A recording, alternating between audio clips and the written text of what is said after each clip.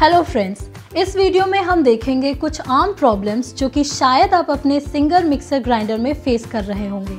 इन problems का solution बहुत ही simple है, जिन्हें आप आराम से अपने घर में बैठे खुद ही रिजॉल्व कर सकते हैं।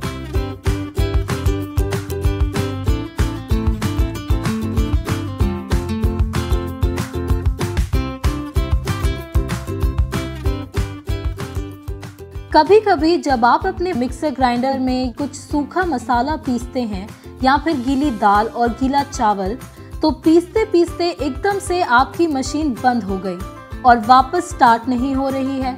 आपको लगता है कि शायद ये जल गई है, पर ऐसा नहीं है। जब हम सूखा मसाला या गीली दाल और गीले चावल पीसते हैं, तब मोटर पर थोड़ा एक्स्ट्रा प्रेशर पड़ता है। इसके चलते मोटर कभी कभी ओवरहीट और ओवरलोड हो जाती है। आपके सिंगर मिक्सर ग्राइंडर में लगा हुआ है एक ऑटो कट स्विच जब भी आपकी मशीन ओवरहीट या ओवरलोड होती है, तब ये स्विच एक्टिव हो जाता है और पावर कट कर देता है ताकि आपकी मोटर सुरक्षित रहे।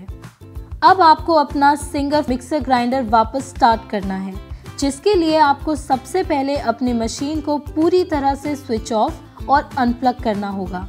फिर आपको केवल दो से तीन मिनट के लिए इंतज़ार करना होगा, जिससे आपकी मोटर कूल डाउन हो जाए। कूल डाउन होने के बाद आपको बॉटम के इस स्विच को पुश करना है।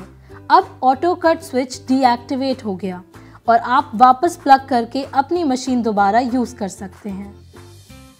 उम्मीद है ये वीडियो आपके लिए हेल्पफुल रहा होगा। अन्य जानकारी के लिए लिखे गए नंबर्स पर कॉल करें। हमारे कस्टमर केयर ऑफ़िस आपकी मदद ज़रूर करेंगे। धन्यवाद।